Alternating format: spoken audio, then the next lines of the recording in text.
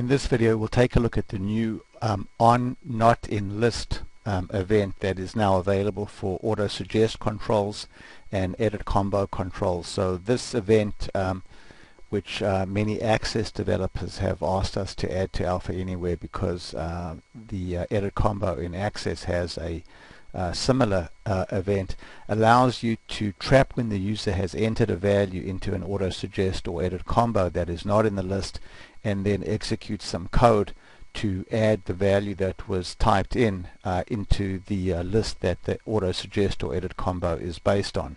So if we go now uh, to this auto suggest and uh, test it out, let's type in say S and there's our list. So if I go and choose Smith, that value was in the list so the event doesn't fire. But if I go here and type in Smith and then an A for example, then that value is uh, not in the list um, and so therefore the event fires and the event uh, tells me you can see here um, what value I actually typed uh, into the list. So let's go now and take a look at um, how this was uh, set up. So we go back to the um, control and then open up uh, the um, uh, auto suggest builder and then we can see at the bottom in the JavaScript section over here there's an event called uh, not in list and I've just simply put up an alert and then I've also specified this dot value which is the value that the user typed uh, into the control.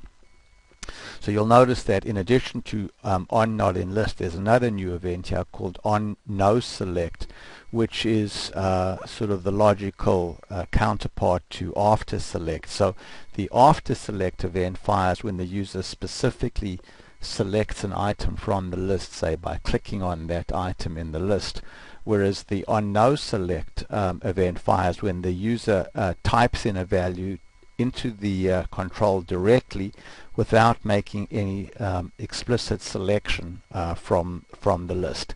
Uh, but the really useful uh, new event here is the on not in list. And this same event is available also for edit combo. So you can see here's the edit combo control and it too has an on not in list event. And again we've specified the alert with the uh, this dot value. Um, so if we go now to working preview and open up the edit combo you can see we can type in um, a value. So let's go here and type in say uh, SMIT uh, and then again A. And then there's my not in list um, uh, event firing but if I make a selection from the list then I don't get the event firing. So um, a very useful uh, new event for both auto suggest and edit combo. Thanks very much for watching